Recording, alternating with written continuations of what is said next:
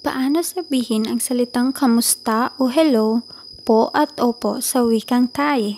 Kapag babae ang nagsasalita, dinadagdagan ng wikang ka sa dulo.